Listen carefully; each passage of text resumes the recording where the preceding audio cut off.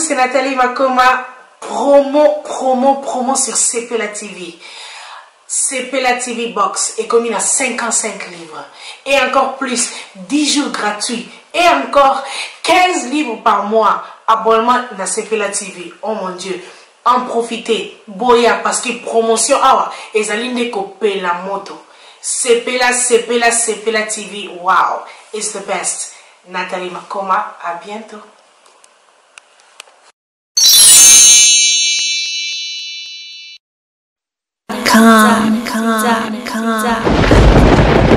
Ah ouais, Kakebeti. Ce qui a vie du public est banni. Y'a mon balama des fois pembe.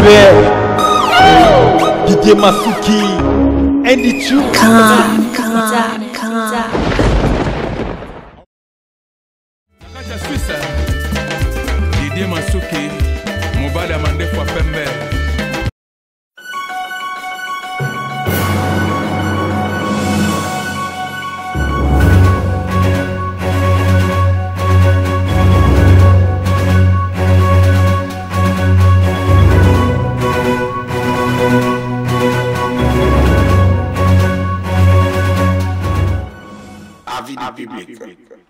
La différence dans la différence. Votre meilleur chaîne de formation. Ba babotaka biso po biso pe tobota.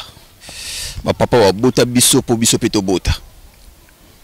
Nalobaki nakofula lisu motu na internet te, nakolakisa su pe motu mosala oyo te.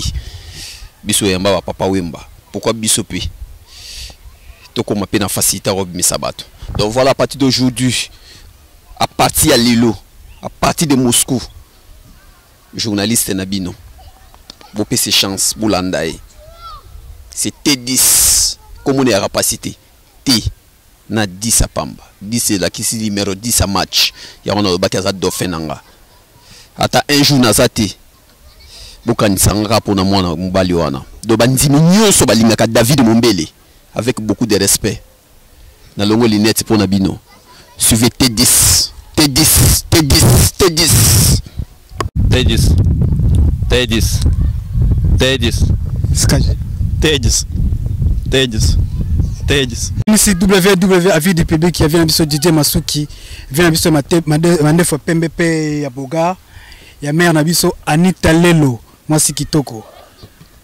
Emission eza tellement chaud, eza tellement chaud, eza tellement chaud. Affaire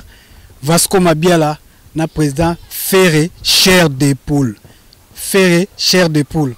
Eza tellement chaud, eza tellement chaud, toza pour ça tomeka koyeba Vasco Mabiala ayibaki 50 000 dollars. 50 000 dollars ayibaki. Vasco Mabiala asalaki émission na david umbele vasco mabiala ademati émission asalaki na david umbele toyebi te ezalaki mongonga vaccin mabiala obeye te parce que nga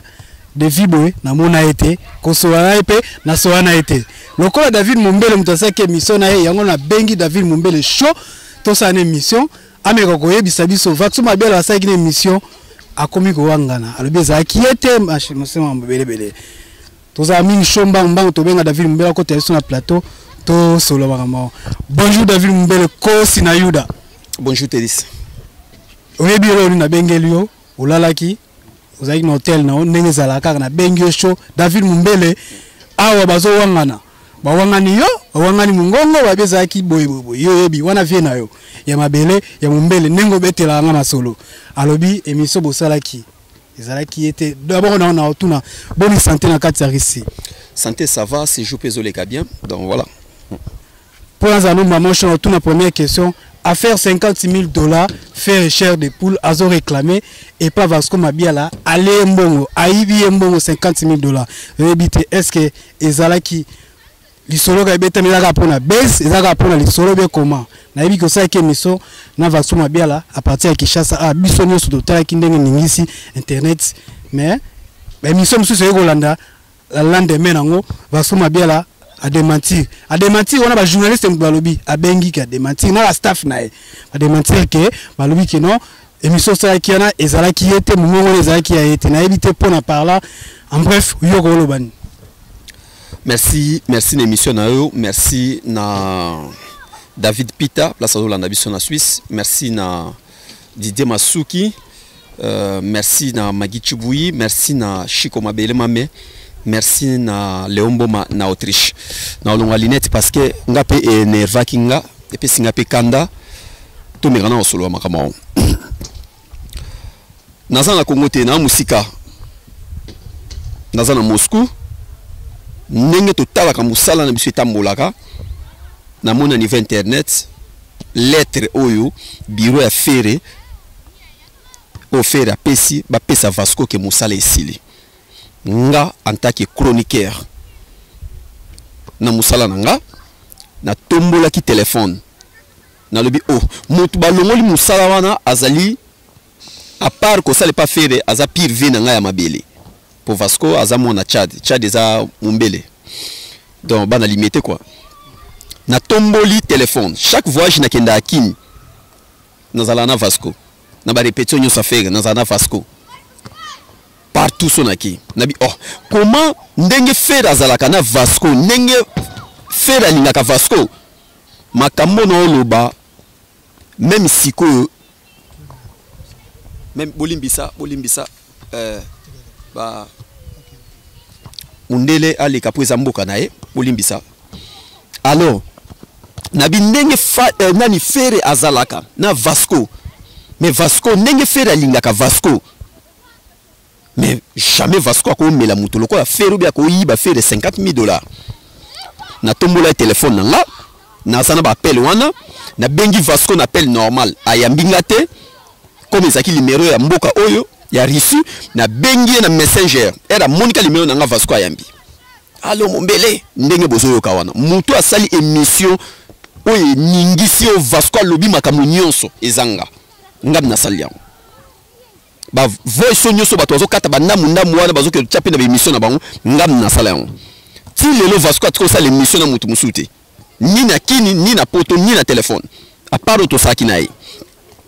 nabengi ye nao natuni ye na bi ah vie makambo na omona internet oyo nakomona bi Ferre akoseli nga makambo ndenge Ferre akoseli nga makambo ebebisi na vie ya famille na ngai famille na ngai balobi nga nayibi ye mbongo mbongo yango nga naza na mbeto hôpital nga bi oza wapi abalanse nga nanu eh, mama yembo mama yembo mama yembo ok c'est bon david mumbe nakokato na mwa moke est ce que ndenge oyebeli vie no est ce que voi wana mpenza eza ye omoni makambo naoloba na yo nayebi emission nasalaki ovasco alobi wana ekomi place ya fere fere mpe atali motu nyonso avandaka na vasco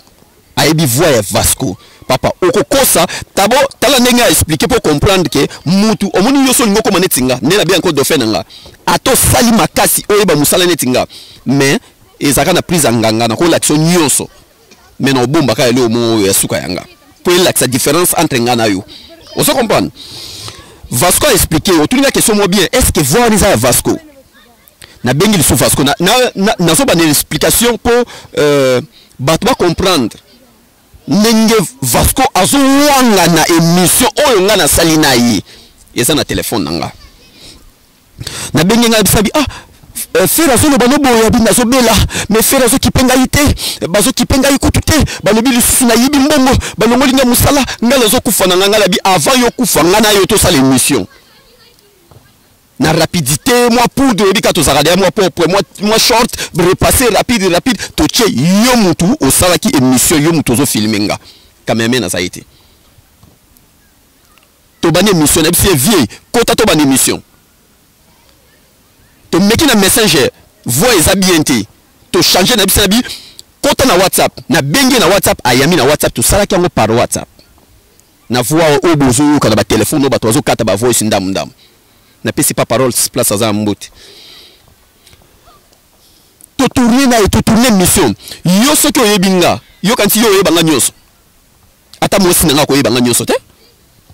azali baprise mosusu ayebi nga te aye oyeba nga na kimokolo magichibuyi napesi mbote 12 étoiles Vasco a expliqué bien po otuni na question ya bien olobi ke est-ce que ezaki Vasco nde Vasco azo wangana ezo pesa kutu masa nanga Mike Lokamba kanda na kin ndenge azo wangana ke eza ye masa nanga Chico Mabele mama azo loba ke David pourquoi ko sala boye pourquoi ko sala bilo boye Vasco ba bengi ye yoka nanu ba bengi Vasco banda 18h pas Chico Mabele mais ti 23h ti il est du matin Chico Mabele mama azanani Chico Mabele mama azali proche à Ferre bureau ya Ferre pe masa nanga alors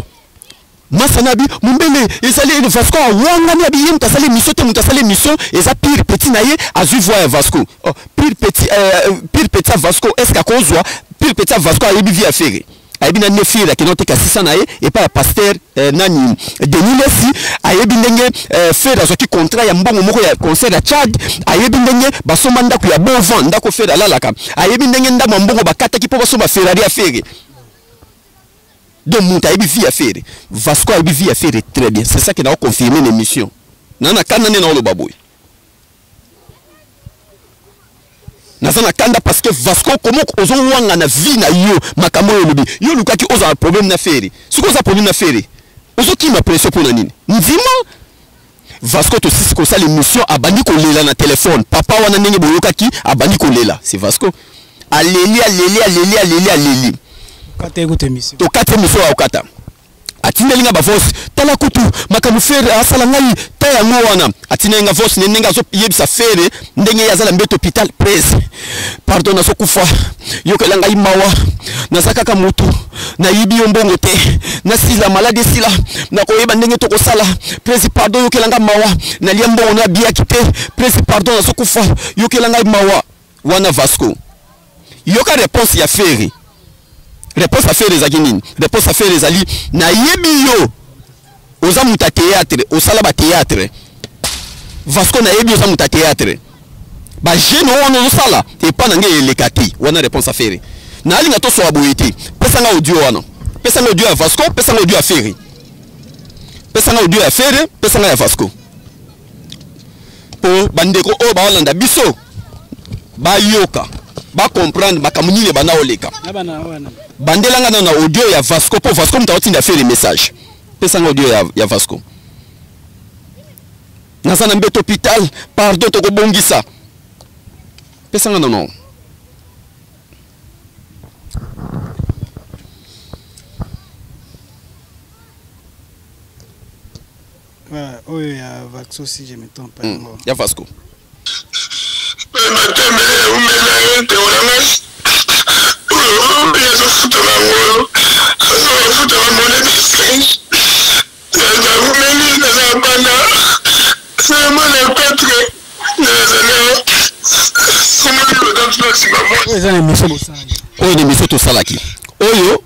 tant to sani to tourner na émission ok d'accord pesa nga siko audio oyo Vasco azo tindela ngo fere nga na ko zongo ndenge nini pesa nga na non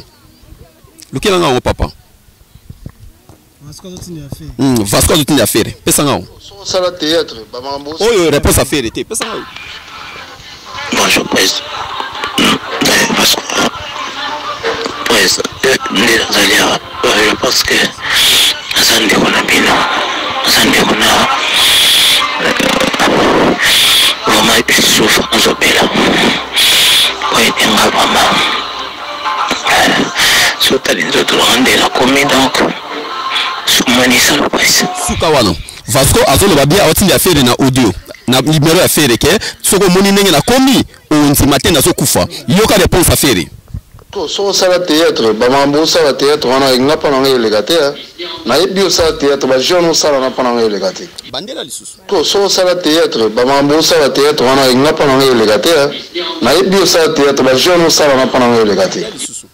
Soki osala theatre ba mambo osala theatre wana nga pona nga eleka te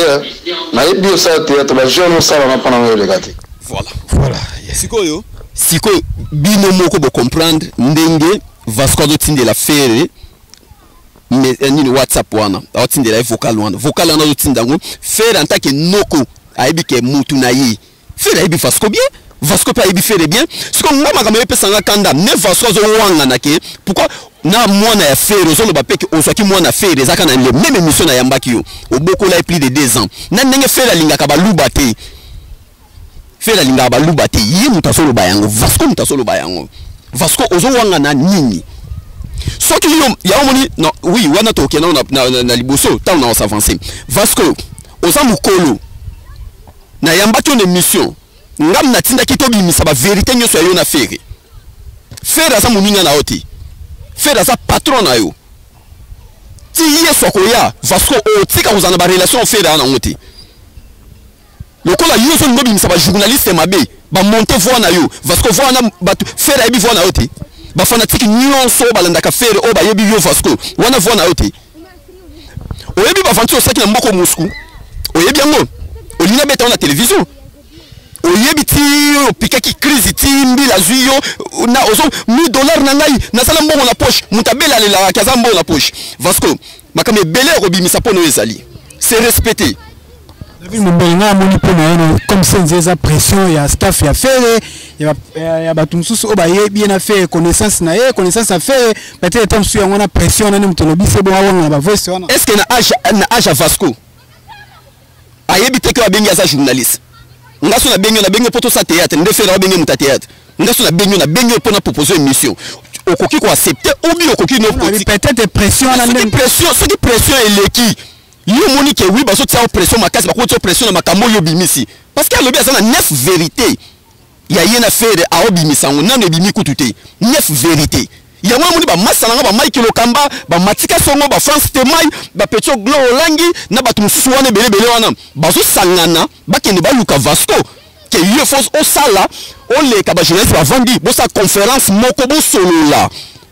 bosolola état de santé na eza bien te mais état de santé ya bien te bonde nika sasa na émission oyebi te mutu boye ta obenga ye na kin na mutu moko boye na yebi se bon tango shiko azo yebisa nga ah, ah, eh, vasco wanga eza ye te nga bi eza ye te hein. OK nga na olakisa nga na maître ko leka ye na balancer na numéro mutu moko boye papa papa papa tant ayamba vasco azo ka voir bar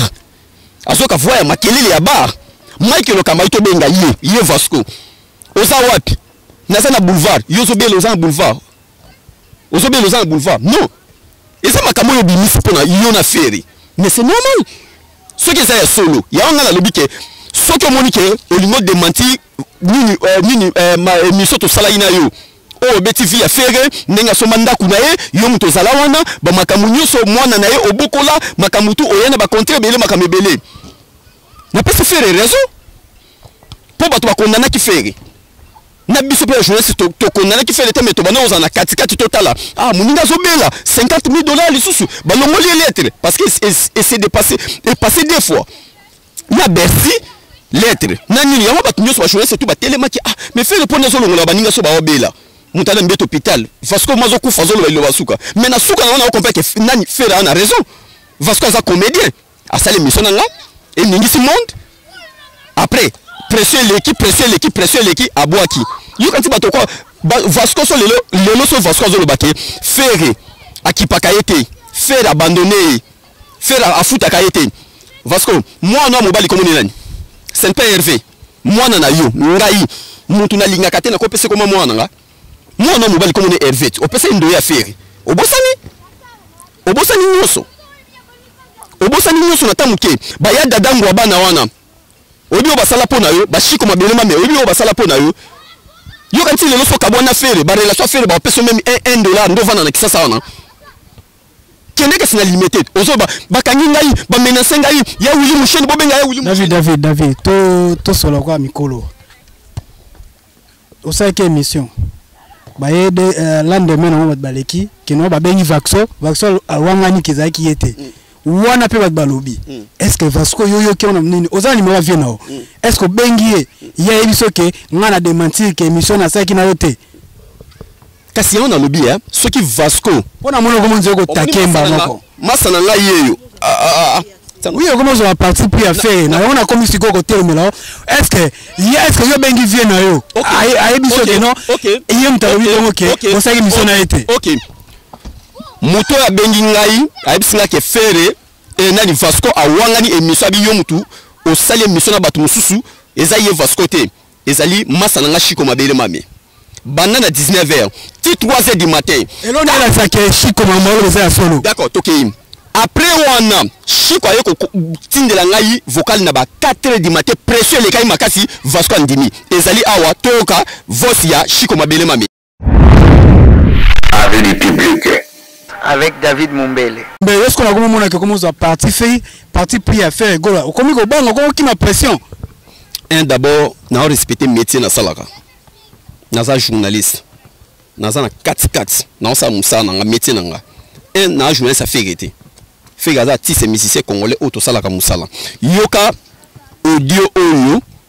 ntango shiko mabele mabe na 3 heures du matin na mingi shiko mabele mabe aza nani shiko mabele mabe azali proche ya fere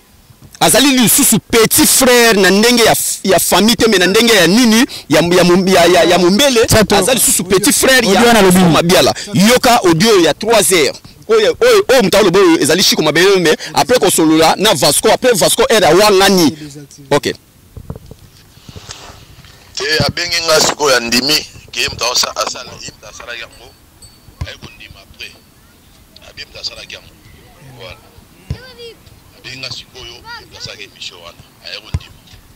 donc voilà kua ye moko ayebi makambo akosala mais so alingi aluka guerre na ferre ah mitali ye mitali ye donc eh, ye soki aza ko se reprocher ke ayibi mbongo te avanda nie alors soki mpe ayibi mbongo alinga banda alinga salir fere mitali ye napesi ye conseil soki akoyoka ayoki ayebi mpe fere bien soki akoyoka ayoki voilà soki akoyoka te ah, ah, ndeko nanga etali ye ashiko mabele mame alobi ye moko ayebi fere bien soki akoyoka ayoki soki akoyoka te mm. ye moko kaka aza mokolo sikoyo oyebi ntina nini maloba ya shiko atindeli ngai nakanisa onze eza voice ya, ya, ya ye moko nani vaxo mabela ezaka ya ye te vasco azosala kikomedi ozo comprendre ke vasco azo embrouille meme na biso bajournaliste toko comprendre te koma kondima te te dis pourkoi ozolinga otikela nga ta naloba te eh. okomprendre mpasi nga naza te eh. nalobi boye mm. yo osalaki émission na vieux nao vasco Vasco Mbu. mabiala Mm. ye moko te abengi yo mpo aloba ademati atiki mpe voice mpo moto moko teke aloba keno émission nasali na david mumbele eza yango wana te Ebongo- eza ngai te mais yo mbongo bando take parce que ye lobi mshuko mabe wana mais moto alobi bongo ke abe émission yaki soki mpe ye te soki mpe tout ça non tozala quand même bato to- oza nimero ya vieux nao Yeah. il fallait obenga yo tuna pourquoi vieux osali bongo Yoka na- yo mama obanda ozwa Yoka na- parti pris ya Yo- ya ferre est ce Yoka- kendaka Yoka bongo sana. ata yo moko ntango bato bazobenga vasco baotia vasco poids na kin pression na maloba oyo alobi na emission tosali na ye vasco ayebisi bato wana na na message oyo bakomi moto wana akomi alobi bien ke nazobenga mombele sikoyo na gaze ye ngai atiki obenga ngai te totiki osala mpe émission te ozomona eloko epesanga kanda namoni yango abengi ye te abengi te tokiti lisusu Chico mabele mabe abengi abi ah mombele moto asali émission wana Vasco pourquoi obosali eloko ya marque wana nga bituna Vasco nga na journaliste na osala métier na nga na yambi Vasco Vasco a expliqué problème ya ye na Ferre lelo oyo otala page ya Vasco tala tala na page ya Vasco même Chico pe Chico mabele mabe atikeli pe commentaire mona tangi ya lelo alobi nini ilunga oyo ya mukuse wana bolimbisa nga mpo na tangi na ye ilunga ya mukuse ya Ferre alingi pe aloba ilunga alingi aloba nini doto bafaso alingi apanza groupe afe tanso yanga apesaka conseil conseil nini ilunga ilunga alobi nanu te alobi kaka alingi aloba tanso yanga apesa conseil bongo efaki eza na page ya vasco efo eza na page ya vasco papa tokola vasco ayebi makambo aosala nga na ondima soki ya solo fere akoseli vasco ayibi ye mbongo te eh? vasco abenga ayebi balimero biso nyonso bajournaliste nyonso ya kini ya internet abenga bango avandisa bango abi ngai nani naloba Pourquoi façon azo kima ba journaliste na kin? Vasco azo kima pourquoi? Azo kima asali na emission na mutu te. Nyoso bo mona na salai na nga. Pourquoi azo kima? Ozo kima retour pourquoi papa? Ozo kima retour yo ebe oyibi no mbongo te. Ba koseli yo makambo. OK. Yo moko pe Vasco a de matière te. Yo na moni ko ngo za parti pris à faire gola. Ah bon? Cela veut dire na ko comprendre que David Mbele pa ko mi ko banga. pression azwaki tellement na butu wana nayebi te papa papa nazoloba moto oyo ozosolola na ye kokanda te aza journaliste akwanga na makayabu be aza journaliste oyo faut mema ye nzela ya eh, pardon pardon tikela nga tanga explique moke kokanisa te aza journaliste oyo il faut olukela ye babombela ye passeport mpo jour aoke voyage kuta ayebi te amema saki neti mwana mwana moke osolola na grande journaliste osolola na garçon monene ozokima pression oyo asala ba émission na ba papa wemba yango na bezo kima pression na internet lelo ozokima pression ozo comprendre na génération na nga mutu atiko sala émission na papa wemba tokoki 5 te ozo comprendre tokoki 5 te oyo basala émission na papa wemba yo soki papa wemba nakoki ye ebongo ba musicien nyonso batikali kita na kita na kita na bo comprendre david mbela aza monte amati amati te mazwaki pression na comprendre ke non akoki okotela shetani pression pression ntango oloba pression ozopesa nga kanda yoka ti nga na besoin na journaliste afrique soki abana asala yango depuis vasco azalaki na ngai asala yango ezalaka na motu moko so na bino asolola na ye mibale misato ya fere yoka ya dada ngwa bana so nasolisi ye bien nakokota na groupe ya fere journaliste ya fere oyo vasco ye moko mpe nakokota na groupe ya fere makaus aotya poids eh, masa na nga kutu shiko mabele ma memuta a sevant makambo oyo soki abike mombele kota na groupe wana na okota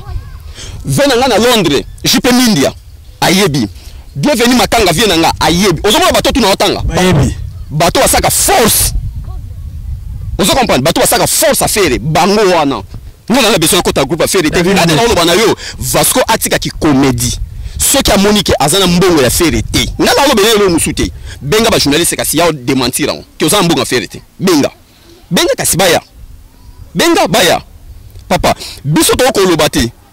biso tosala omoni omoni makambo nga bo to bana oloba sikoyo mpo oyopesa elingi bono opesa sikoyo okanda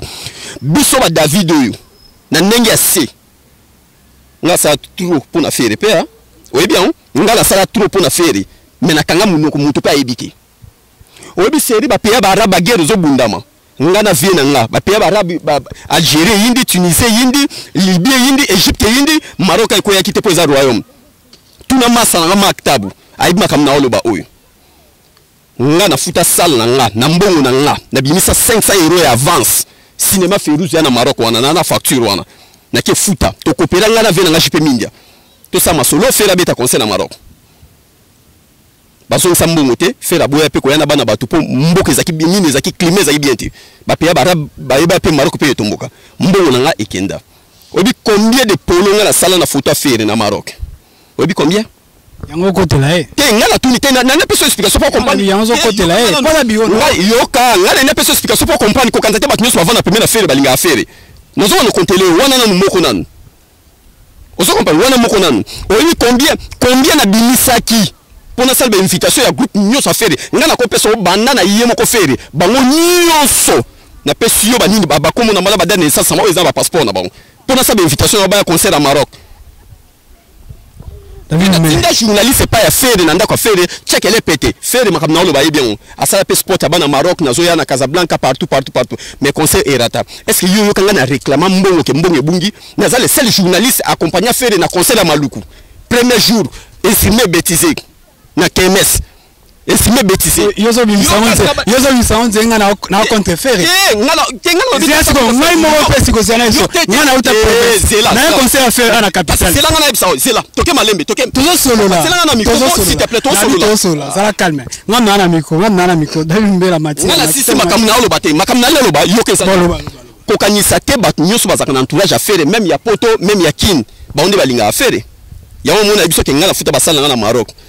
tuna via na jp mindia ayebi makambo na oloba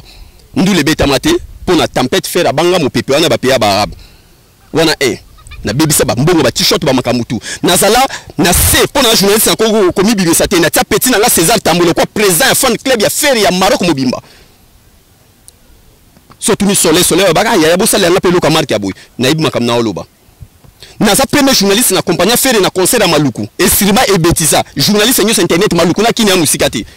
esirima ebeti te orchestre bayebi yango yoka nasilisi nasisi bienvenu makanga azalaki wana esirima ebetisa bamisisa bazongi na hotel fere azwi car azongi na ye kini lobi nango ndule tolala na maluku na foot hotel deux jours na lali suna maluku lobi nango ndule bandi cameraman na nga naoloba kutu Tracy aza nani azali journaliste affaire ayebi makambo oyo amona oyo na podium cameraman na nga alungwa likolo na pression bambila akwea na se appareil ezwa choc na tongo nango Vasco alamusa nga na 5 du matin Vasco oh conseil na maluku wana cameraman ezalaki yo moko mombele pardon pesa nga mona elema wana na karibu ngam na benga montagne na biso biso longola logo na biso site pam pam pam pam tia eleka na karibu c'est moi donc j'ai beaucoup contribué na groupe affaire donc oyena ba greco moto pe mena nga po tsanga na ba confusion là je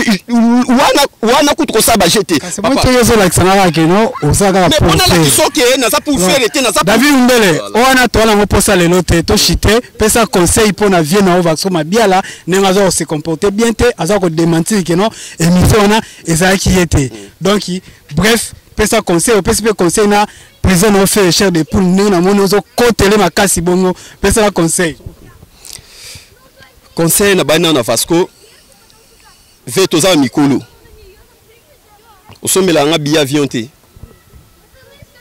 ozo comprendre wa mokolo ta mosusu mpe okoza mpe mokolo ya fere me na kipatron namona mosala ekipaka te conseil na opesa yo ve se respecter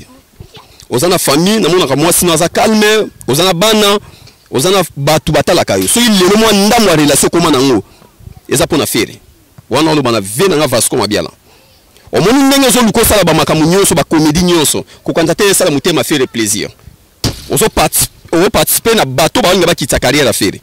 soki olongwe balongoli okanga monoko kanga munoko vanda na coin ta musu fere pa koyokilo mawa parce que kanga munoko eh oui kanga munoko vanda na coin ta musu fere pe bako tsa poa ba jipe mindia bazali ba ba, ba ya dada ngwa bana bazali ba tebele bele bazali ba shiko ma beme ba kozo nso pe ba tumi pe ozo ba suspension trezo ko la longwa kati on se comprend donc voilà wana pona vasco Ve tika biloko osala lelo komo oyebisa bato ilunga alingi aloba ilunga alingi aloba nini ilunga mokuse alingi aloba nini yo vasco yo moto olobaki ilunga alingi aloba ve kola tika baventure na bandeli lisusu ke kola tika baventure oyebi motema ya fere bien tozwi mpe mwa bachance ya komona moto wana pembeni kovanda pembeni na ye toyebi mpe comportement ya fere na makambo etali mpe rando soki omoni okokoka rando na fere nzela eza polele bosala comme ça tokotuna ngulu ozo na veno pona faire pona faire conseil na opesa ye ezali kaka ke atikalaka na kanda mingi te so moto asalaki epa na yo bolimbisa nga vraiment na bato nyonso so bomoni naza mpe monte parce que komoko osa émission na mutu lobi na ntongo mutu alali alamuki azwi bapression na ye na makambo ye alobaki alobi eza ye te yango bomoni nayaki na tension na mais naza mutu ya bamarke wana te conseil na opesa fere kotikalaka na bakanda ya bato mingi te soki moto alongwe na mosala epai na yo bokotikala mpe bie bopesanaka mpe mbote me olingi aya pembe na makambo na yo lisusu te mpo asali mpe mwa mingi epai na yo vasco mpe asali mingi c'est pas n'importe qui oyo akoyeba vie na yo nde vasco ayebi na oyo abimisi wana mpe azoloba le nef verité ezali ngai na olinga makambo oyo esila soko yo moko fere obenga ye te tinda babiro babenga ye botya na se makambo esila soki mpe fere oza na mbongo ebele fere oza na mbongo wana mbongo ebele prese soki mpe omoni kosundola vasco 50 000 dollars wana alia na ye tikela ye alia na ye problème eza te eza fin du monde te oza musicien ozwa 2 3 contrat e couvrir mbongo wana oyo nga nakoloba mpo na fere yango wana euh, eloko mosusu nini nakoki oloba système ya lettre wana mpe na so moto aobela toboyi lobi eya biso epa makauze ya mpe système oyo mabe eh, fede achange mpe na yango moto aobela tika abela après abiki so olongoli olongoli ye mpo omoni répété deux fois yango moni bato mosusu bakotela ye vasco parce que bersa abeli lettre vasco pa beli lettre eh, yango wana mabe donc voilà bambote na ngai napesa bambote trop na dide masuki mobali ya mandefu ya pembe ya nita lelo merci na vie na ngai viengele nabosani te olivier momo papa social na swede olivier momo papa social na swede mbote na opesa bana swede mbote kala te tokozala wana dadi Matondo de Bundes ya mama na biso Zola Dadi Matondo de Bundes ya mama na biso Zola euh, na bosani te Chimène Babu ndeko ya mami na kati ya Bundes merci na yo masa na nga Chico Mabele ma mema sa patron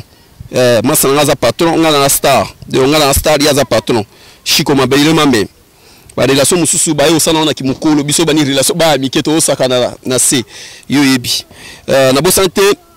na irlande uh, eh, fredi ndongala fredi ndongala na irlande bana poto solingola na flata bien na kini luka kaka fredi ndongala na internet ozolala place ya bien keba okende olala na congo na place moko bangungi bayo swa ozongi poto ozongi na makwanza mabe leo mboma mokonzi ya autriche je confirme avec force leo mboma mokonzi autriche nabosani te magi cibuyi 12 étoiles place azali mbote kote londres na ser na biso mandi mandombo mama social eric wena merci na yo susu poto na poto eric wena kokose mobali ya mama na biso lidia na kati ya bundes petit na nga césar tambole bos na kati ya maroc ve na nga viengele place kokorumba international nabosani susu david peter david peter na kati ya paris nani lisusu john joan njokwa merci na yo joan njokwa vrai chéri merci na yo place ozali mobali na yo david peter azozela yo joan njokwa mobali na azozela yo deya kuna sala okendaka déjà merci na base solide nyonso ya feregola merci na bamasa na nga tout place bazali euh, voilà nakoloba lisusu makambo oyo te nde nabandaki yango nde mpe na kati na tiki bye bye tokutana la prochaine na kei ouais voilà C'était David Mumbele, Kosi na Yuda. Boki mamba lobi nyoso tu et engagé kaka ye David Mumbele. O nyoso le kian engagé kaka ye. Tozali na vie du public ya vie biso Didier Masuki na ndefa pembe. Ya mère Anita Lelo. Mwasi kitoko atelemisa euh, ba mbwa matoyi banini. Merci. Trésor très, euh, Tracy Mbelenga. Ya yo ngwana.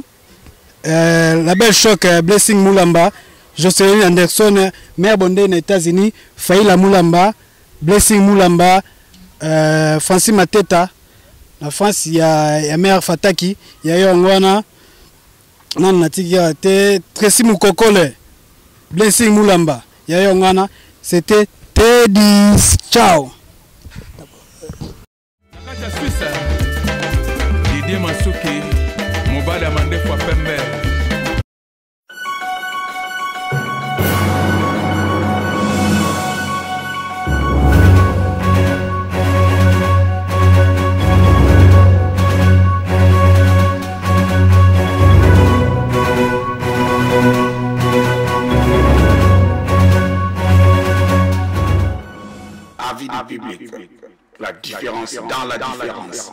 votre mère jeune de formation.